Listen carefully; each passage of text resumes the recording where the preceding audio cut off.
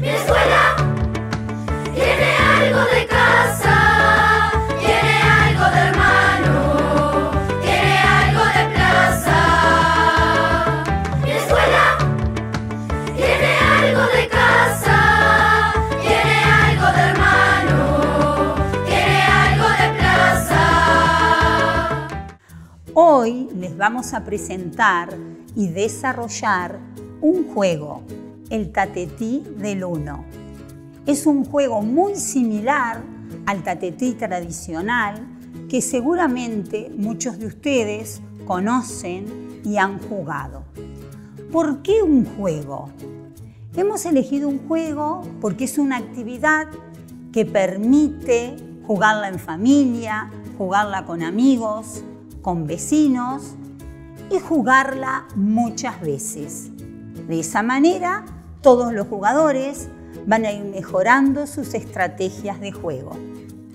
El juego que menciono, el tatetí del 1, se encuentra en el cuaderno para hacer matemática de cuarto año de Chuza en la página 78. Luna, la maestra me mandó a jugar este juego. Se llama el Tatetí del 1. ¿Querés jugar? A ver. Dale. Ahora vamos a ver las reglas. Dice, se juegan parejas, o sea, jugamos nosotras. Sí. Eh, alternadamente, cada jugador irá colocando una ficha de su color para formar uno en horizontal, diagonal o vertical. Cada vez que un jugador forma uno, se anota un punto. Se juega hasta que no queden más posibilidades de formar uno. Gana el jugador que hizo más puntos. Está, genial.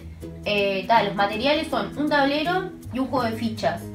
Eh, ta, lo tenemos que construir, ¿no? Es un juego muy similar al tatetí tradicional que seguramente muchos de ustedes conocen y han jugado. Los invitamos a jugar.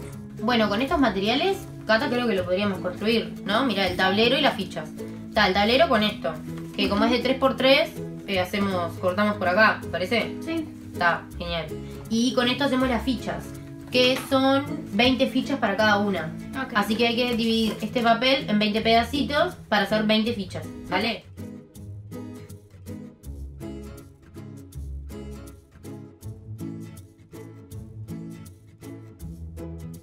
Como vieron en el video, para jugar al tatetí es necesario tener un tablero y varias fichas. Los tableros los pueden construir de distintos materiales, de cartón, de cartulina, con las tapas de un cuaderno que ya no usan, y eso daría la posibilidad de que lo usen varias veces. Para armar las fichas, para jugar al tatetí del 1, pueden usar los mismos materiales que los del tablero. En este caso, los números que van a necesitar representar son el 0, el cuarto, el medio, el 2 cuartos y el 3 cuartos.